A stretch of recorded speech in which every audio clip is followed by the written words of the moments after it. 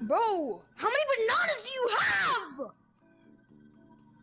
Ah, you're persistent. I respect that. Bro! There's plenty more where that came from, kid. How many bananas do you